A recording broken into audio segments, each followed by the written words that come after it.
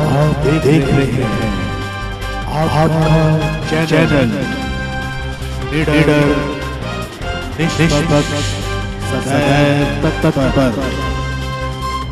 शिमला में रात से हो रही भारी बरसात से अभी सुबह सुबह लगभग छह बजे विकास नगर में डंगे के दरकने से दो गाड़ियाँ बुरी तरह क्षतिग्रस्त हो गईं।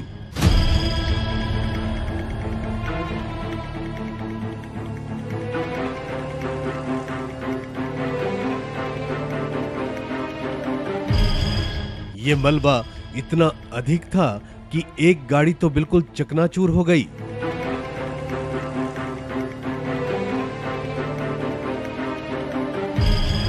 ये खबर सबसे पहले आपको आपका चैनल पर देखने को मिल रही है। राजीव खामोश की रिपोर्ट।